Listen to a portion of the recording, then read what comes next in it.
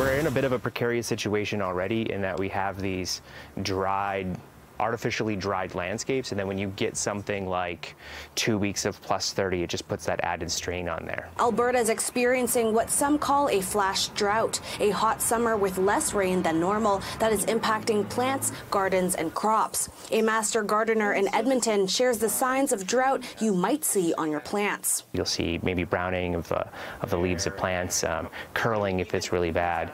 And so, uh, yeah, those are all signs of some water stress. Some other preventative measures measures he mentions are reducing bricks and patios in your yard and packing as many plants in the space as possible so they can protect and nourish each other. Build really healthy soil by adding things like leaves, compost, mulch, uh, and that's going to build up over time. And then when it does rain, it's going to hold on to all of that water so that um, the plants can slowly access it. Another thing droughts affect are wildfires, which can affect our air quality. Your air quality might be poor as well um, on top of having consequences uh, related to agriculture and crops. And even if it's rained recently, that doesn't mean that your situation is much improved.